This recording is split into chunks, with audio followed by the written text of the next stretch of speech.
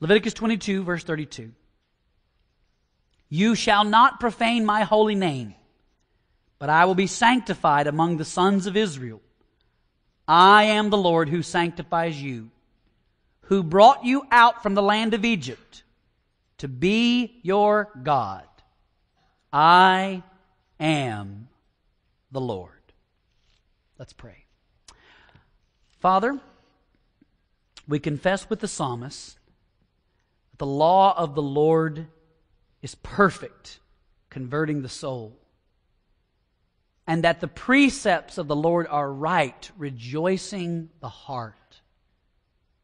And so, Father, as we hear your law and your precepts, we pray for hearts to rejoice and for souls to be converted, and that Jesus would be honored. And we ask it in His name. Amen. The great theologian Margaret Thatcher once said, Being a leader is like being a woman. If you have to tell people you are one, then you aren't one. Within the nation of Israel, there was absolutely zero question about who its spiritual leaders were. It was quite obvious to everyone and quite clear to everyone. Their presence among the people was the center of their worship and their identity. And everyone knew that the priests were special spiritual leaders. They came from a special family. They wore special clothes. They served and worked at a special place. They ate special food. They followed special rules. And they enjoyed many special privileges of being in that position. But as we all know, with great privilege comes what? Great responsibility. And that is especially true for those who are in leadership. And that's what our passage is about this morning. Now, if you've been here in this study, you know that we've been saying that the, the main theme that the book of Leviticus is about holiness. That God has brought his people out of pagan Egypt, and he's about to take them into pagan Canaan. And he does not want his people to be pagan at all. Don't copy the Egyptians before you, and don't copy the Canaanites in front of you. Be sure that you, as my people, are distinct, that you're different, that you stand out. They were to be clean and moral and set apart. Now, I want to be clear, as I always try to be at the beginning of this. When, when you look at the book of Leviticus, we must be clear about something. Israel, in, in keeping the book of Leviticus, they're not trying to appease God as much as they are trying to represent God. They're not keeping these rules in order to be saved. They're keeping these rules because they have been saved. They were already brought out of Egypt. They had already experienced the Day of Atonement. Blood has been shed, forgiveness has been given, and so this section of Leviticus is called the Holiness Code because the question is, how do we live in light of the blood? How do we live in light of forgiveness? How do we live on this side of the atonement? And so God wants His people to be holy people. But of course, people seldom rise above the spiritual level of their leaders.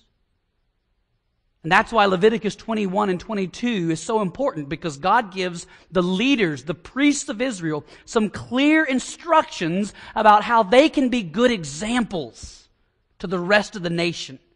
How they can help the rest of the families of the community to follow in God's path.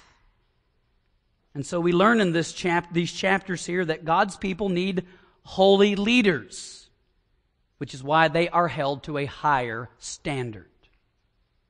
God's people need holy leaders, which is why they are held to a higher standard. Now, the passage in front of us is a little bit tricky. And the reason it's tricky is because we don't have a priesthood anymore. Fact, just to be sure, to be careful, I did this in the early service. If there are any Levitical priests here this morning, would you raise your hand? Anybody? Anybody? No, I didn't think so. So there's a challenge in trying to take this passage that was meant for an audience that no longer exists. What, what do we do with this today? Well, I think in one sense that, that all of us, whether we realize it or not, we are in fact, as God's children, we are called a royal priesthood in 1 Peter 2. And, and all of us, probably in some form or fashion, we are leaders ourselves. You, you may not think of yourself that way, but you've heard it said before, the simplest definition of a leader is anyone who has followers. You're either a leader or you're being chased, but that's a whole nother sermon, I guess, for a whole nother Sunday. But think about it for a second. Is there anybody who looks up to you? Nieces? Nephews? Grandchildren? The company intern? Kids in the neighborhood, co-workers, younger men and women who ask you advice. I think all of us in some sense are in fact leaders.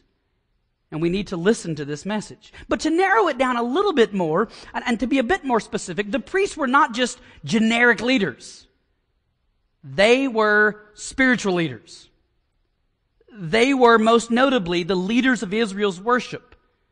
And so we have to ask, do we have that today? The answer, of course, is yes.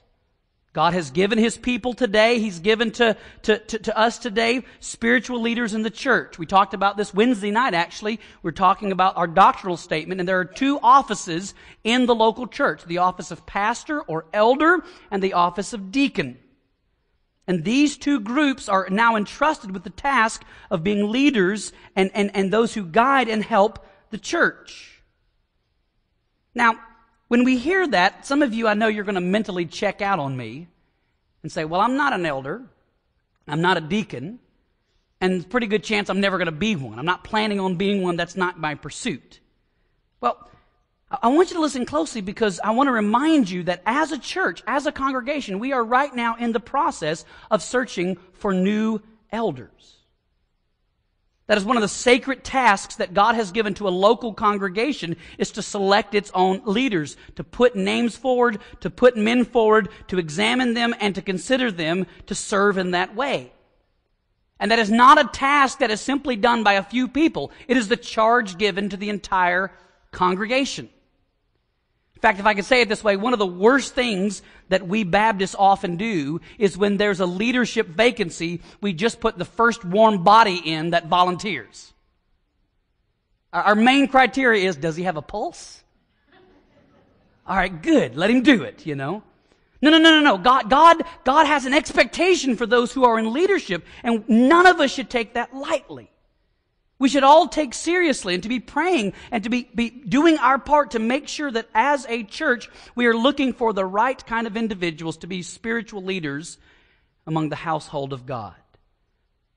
And as we see in this chapter, that, that, that God's people need holy leaders, which is why they're held to a higher standard.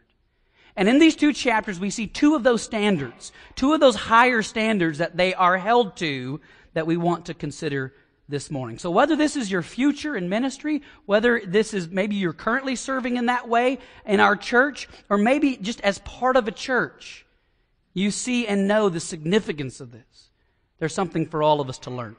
So let me summarize the two chapters and then we'll, we'll dive right in. In the first chapter, Leviticus 21, here we learn that those who lead God's people are held to a higher standard personally.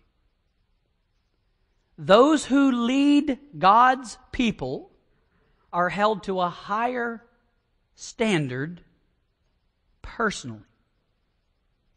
Now, if you read chapter 21 this week, and by the way, I hope some of you did. If you've not been doing that, let me encourage you. It's not too late.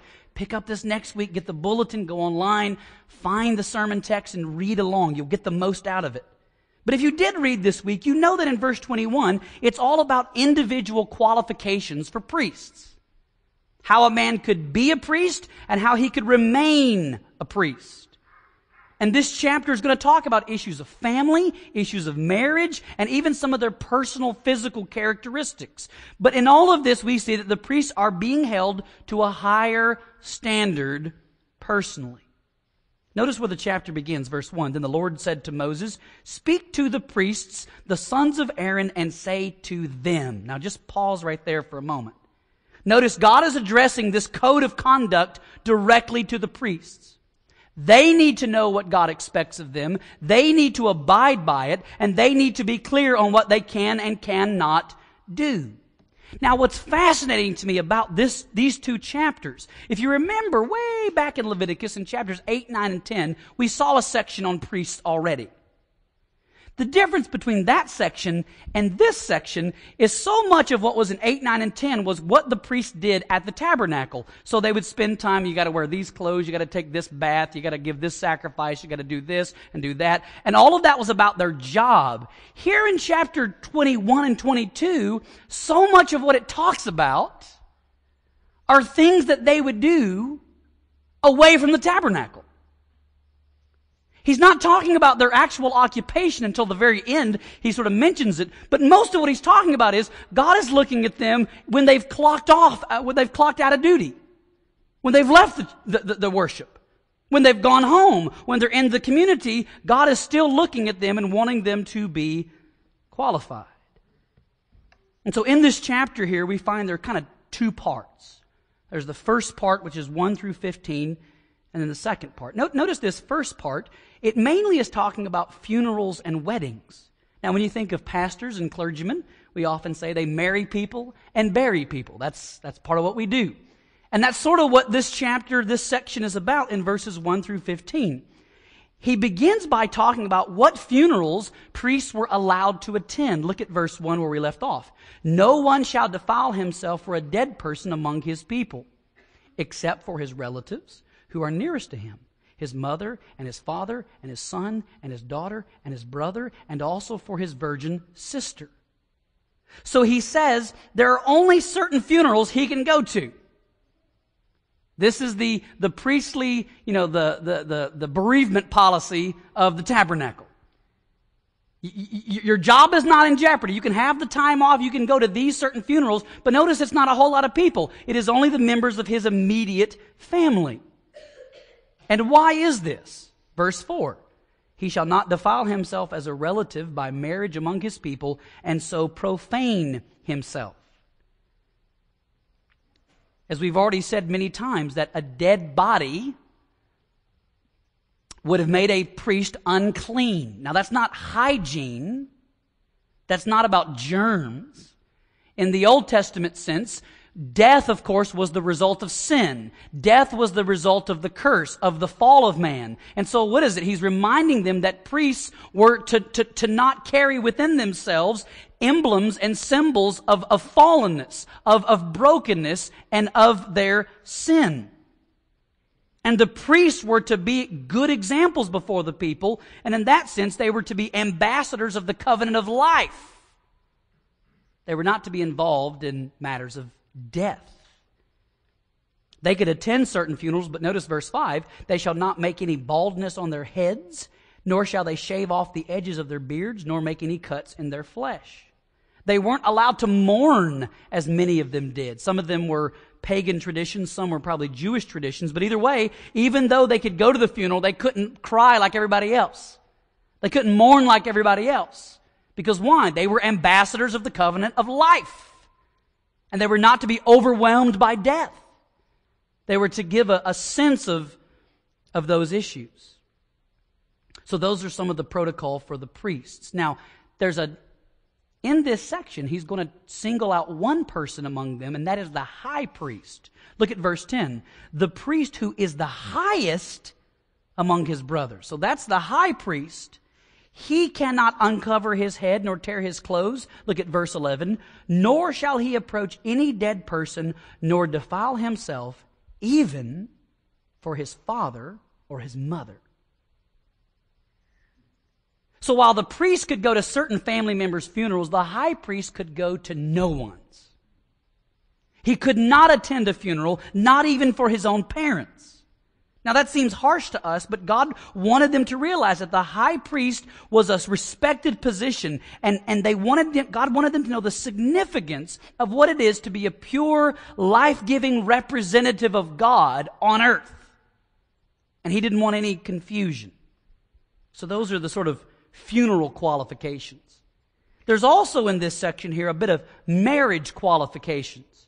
If you go back a little bit to verse 7, he says, They shall not take a woman who is profaned by harlotry, nor shall they take a woman divorced from her husband, for he is holy to his God.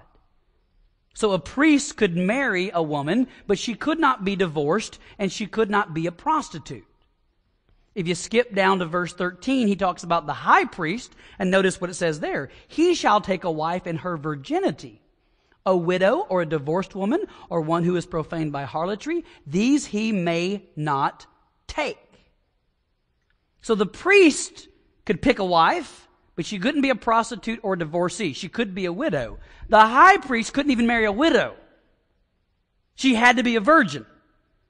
And in that sense, God wanted the marriages of his spiritual leaders to be free from corruption and sin and, and, and, and um, uh, uh, compromise. He wanted there to be cleanness. He wanted their marriages and families to serve as an example to everyone else in Israel. So, in this section here, it's about these funerals and marriages. By the way, I know this is maybe not an exact correlation, but I think it's worth noting here. You can learn a lot about a pastor today by listening to how he conducts funerals and weddings. I don't know if you've ever been to funerals where instead of preaching the gospel, the guy decides to talk the person into heaven. It never works. And, and, and weddings, if they're only designed as, oh, it's gushy go love and so forth, and they never get to the fact that love, that marriage is a picture of Christ and the church, they've missed the point. And so there is a sense in which, in a sense, that, that even funerals and marriages and how they're overseen today, really, it, it still should be a good example to the rest of God's people. Not only that, but they had other qualifications. There were physical qualifications that they had to do. And that's the last half of this chapter. When I was in high school, I remember when I was a freshman, they told us that in order to play sports at school, you had to pass a physical. Well, I didn't know what a physical was, so I asked a buddy, I said, What is a physical? He said, You have to strip down your underwear and go in the locker room, and some doctor is going to go in there and check you. And I remember thinking, Well, there goes my sports career. I'm going to quit now, you know. I did not want to do part. Well, I finally got the courage up to, to, to, to do it, but but why do they do that? Because you don't want somebody with a chronic medical condition. It would be unsafe. They had to be cleared physically. Well, the Old Testament priests, they had to also be cleared physically. They had to be free from physical deformities and injuries and handicaps. They had to be physically whole. Notice verse 17. Speak to Aaron, saying, No man of your offspring throughout their generations who has a defect shall approach to offer the food of his God. So here he says you cannot serve in this way as a priest if you have a defect. Well, that raises the question, what qualifies as a defect? You know, I got a birthmark, I got a mole, I got a this, I got a that. What, what, what makes me, what, what's a defect? Well, that's what he lists in 18. For no one who has a defect shall approach. Notice the list. A blind man, or a lame man, or he who has a disfigured face, or any deformed limb, or a man who has a broken foot, or a broken hand, or a hunchback, or a dwarf, or one who has a defect in his eye, or eczema, or scab, scabs, or crushed testicles. I was talking about this list with my oldest son, and he said, How do they know if you had that last thing? I said, somebody had to check. He said, I don't want to do that job. And I said, all right, well, we don't, we don't do this anymore. Being a priest was not always glamorous, I guess. But he, he goes through these 12 physical features that they had to be examined for. And again, it's not that having one of these made a person have less dignity. It doesn't mean that the person was not, uh, uh, uh, uh, uh that, that, there was something wrong with them in the sense of sin. There, there was a sense in which, though, the priest was to be what? Physically whole. Physically complete. Remember, Israel was supposed to recapture a little bit of the Garden of Eden. And in the Garden of Eden, everything was good and right and perfect and everything was clean and, nothing was deformed because God said it was all very, very good. And so in the tabernacle, they were supposed to have a little bit of that real estate. And so God says you're not to have a person with any of these sort of chronic medical conditions serve in this way. They were to represent God to the people, and they were to represent the people before God, and they needed to be specimens of health and strength and life, because our God is a God of health and strength and life. And so he says there, if any of those men serve, that they will profane the sanctuaries. God's sanctuary was, was pure and clean, and for any one of these people who are broken or deformed in any way, if they came in, then the holy sanctuary would be unholy, and that was unacceptable. So, what is this entire chapter about? Be it the funeral qualifications or the marriage qualifications or the physical qualifications. Again, the point here is that each priest had to be individually qualified. And they were held to a higher standard personally. Now, what do we do with this today? Well, those who are pursuing Christian leadership today are still held to a higher standard. Of course, church leaders today, the central issue is not physical qualifications, but moral and spiritual qualifications. I was reading this week a story about the Smithsonian. I did not know this, that the Smithsonian has 156 million items. And the curator in the article was saying that only 2% of their collection is ever on display and that most of what they have is never put in a glass case. Most of it's never actually put out. It's on sto- in storage to be preserved or even at times to be studied. And, and in the article, they ask, how do you decide what goes out and how do you decide what stays in storage? And the curator said, just because an item is valuable doesn't mean it is museum worthy. Some items, he says, they look ordinary. In fact, some of the items might be quite modest and quite plain. But they are museum worthy if it's something worth looking at and something worth learning from. I think there is something that can be said about those who would be in leadership today within the church. Not every item in the Smithsonian is museum worthy, and not everyone who graduates seminary is leadership worthy. Paul tells us that a good, it is a good thing if a man desires to be a church leader. But just because a man desires it doesn't mean that he deserves it. That's why Paul gives the list of qualifications for elders and for deacons. Now, I don't think that the parallels are exact here, but it's interesting when you pick up the New Testament qualifications how Paul talks about a lot of these same issues. Their marriage has to be a certain way, their family has to be a certain way, their reputation has to be a certain way, their character has to be a certain way.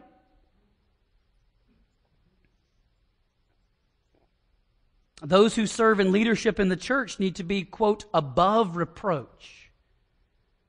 They need to be blameless and good examples before the flock of God. New Testament churches and healthy churches must look for healthy leaders and not just put anyone in leadership. There's an old African proverb that says, Character is like pregnancy. You can't hide it forever. At some point, sooner or later, a man's character or his lack of character will become obvious. It will show itself. And that's why the church must be very diligent and very careful to, to, to, to look for those to serve the church and to be before the church that are a good example. In fact, I would venture to say there are some of you in this church that you in the past, you have been in churches where there was a moral failure by a pastor or a spiritual leader, and that experience still haunts you. I never forget in a new members class one time talking to an older, uh, older couple, and they, they had said, they kind of sheepishly said they had been out of church for almost 10 years. They had a solid testimony. They seemed godly. I, I, and I said, Why have you been out of church for 10 years? And at the last church they were at, the pastor had an affair with the secretary. And they said, We know that, that, that, that we shouldn't have put too much confidence in him. We shouldn't let that keep us away from church. That's why we're back now. But they said, You know, it was devastating because that experience. There is no quicker way to ruin a church than to put someone in leadership that doesn't have the necessary character to be in that position. This is why I need you to pray for me and I need you to pray for our elders. I'm not involved in any moral failures and I don't plan to, but I don't think David woke up planning to do it either. After a moment of temptation and weakness, he ruined his family and really ruined the kingdom. This is one thing I think as a church we should praise God for and continually pray for, which is the integrity of our church elders. We're looking for new elders. We need to pray about that. We need to pray for our search committee and pray for the discussions and pray for the process and pray for all that is involved. Mark my words. The only thing worse than having no elders is having the wrong elders. And that's why those who lead God's church must be held to a higher standard personally. By the way, if you're here and you're going into ministry and we have seminary students, I know we have many in our church, listen to me closely. You have a potential, a great potential to do good and an even greater potential to do harm. Be careful. That's why Paul told Timothy, pay close attention to yourself and to your teaching. The order of those is not accidental. Before you pay attention to your teaching, you need to pay attention to yourself. We so often tell young men in seminary, you need to, you need to, you need to know Calvin and you need to know Augustine and you need to know Luther and all that's true, but they also need to know themselves and commit themselves before the Lord. Proper creeds will not make up for an improper character. While the church is looking for qualified men, we all understand that we are not looking for perfect men. The best of men are still only men at best, right? And the reason we're not looking for perfect men is because there is only one perfect man, and he is Christ. Don't put your eternal confidence in church shepherds, put your eternal confidence in the good shepherd.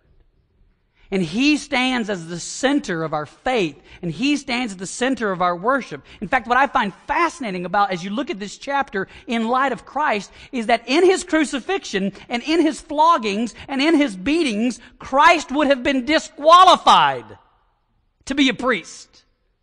He would have been disfigured and he would have been scarred. And yet the Father was pleased to take him who did not meet these standards and to qualify him because of his character, because of his life, his sinless life, and his substitutionary death on our behalf. And so he becomes not just a priest, not just a high priest, he becomes the great high priest who gave himself once for all. So that's the first standard, personally. Number two, in chapter 22, those who lead God's people are held to a higher standard vocationally. Vocationally. In chapter 21, he talks a lot about qualifications. Now in chapter 22, he's going to go back a little bit to the issue of occupation. Th- these priests not only need character, they also need competency. They need commitment to do their job and to do it well. And they were held to a higher standard. They were to manage the worship of Israel, and they were ultimately to, to, to, to lead the people of Israel in a diligent fashion. Now, if you notice in chapter 22, look where he starts in verse 2. Tell Aaron and his sons to be careful with the holy gifts. Now, that's what this chapter is about. When the people came to worship, they would bring an animal, they'd bring uh, some grain, they'd bring some kind of gift, some bit of food, and they would bring that to the priest. And he says, Tell the priests that in their job, I'm watching them. They need to be diligent, they need to be careful to do the job right and to do it well. If they are unclean or they do something that is unclean, it will affect their job performance. So God tells them in this chapter what to do. In verses all the way through verse 8, he's talking here about that the fact that they should be clean and they should remain clean and that if they, they, they, they, they do become unclean, they need to quickly rectify that and deal with it. Now again, what were these gifts? As I just said, they were they were food. Do you remember way back at the beginning of Leviticus when they brought an offering? Some of the offering was burned, and some of the offering was what? Was eaten. Eaten by who? Eaten by the priests. If you look at verse 7, it says, But when the sun sets, he will be clean, and afterwards he shall eat of the holy gifts, for it is his food. God, God built in a, a meal plan into the work of a priest. This is how God cook, took care of them. This is how they had what they needed. But not only that, this food also went to provide for their families. It's, it's also what they brought home, and they would give it to their closest relatives, their wife and their kids, so that they would have something as well. I was going to say this is how they would bring home the bacon, but I don't think that works in a Jewish, Jewish uh, con- context here. Notice verse 11, but if a priest buys a slave as his property with his money, that one may eat of it. And those who are born in his house may eat of his food. So his wife and his children and any slaves that had become, in that sense, part of the family, they were allowed to eat at the dinner table. So the priest would come home with a big box after a sweaty day at work and he'd walk in and the kids would say, Yay, dad brought dinner. And they would say, What's for dinner? And mom would say, Let me guess, it's ribeyes and lamb chops and matzah bread again, right? And he'd say, Why do you say it that way? And she says, Because you bring on the same thing every night. There never is any variety of what you bring. And he says, Woman, what is wrong with you? And she says, Are you starting this again? And I don't know why I did all that, but there was conversations. And they would all eat.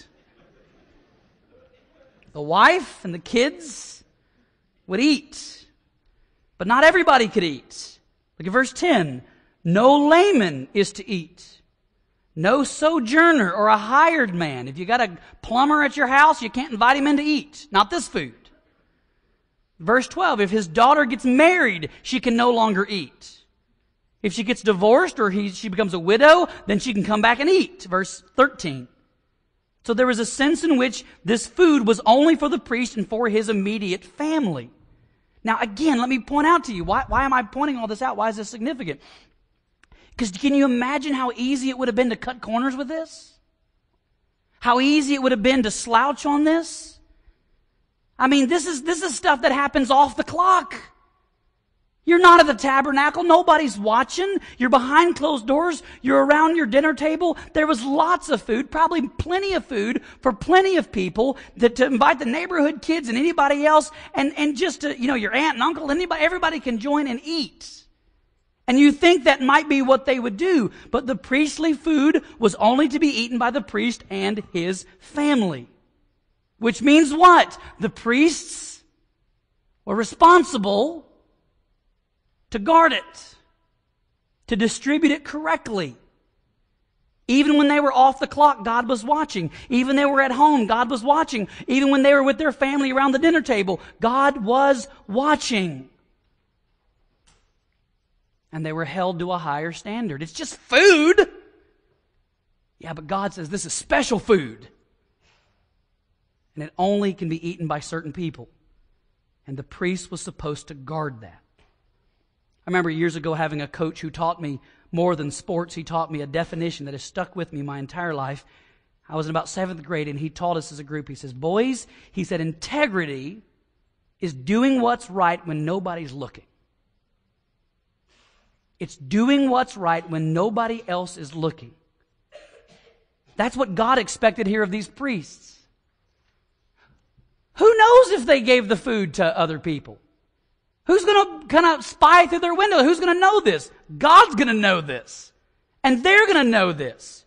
And it was a matter of integrity to do what was right when nobody else was looking. And so they had to be diligent in their vocation in handling the food.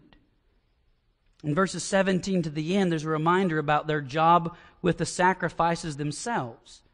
Look, if you will, just look at verse 20. He says, Whatever animal has a defect, you shall not offer, for it will be accepted, excuse me, it will not be accepted for you.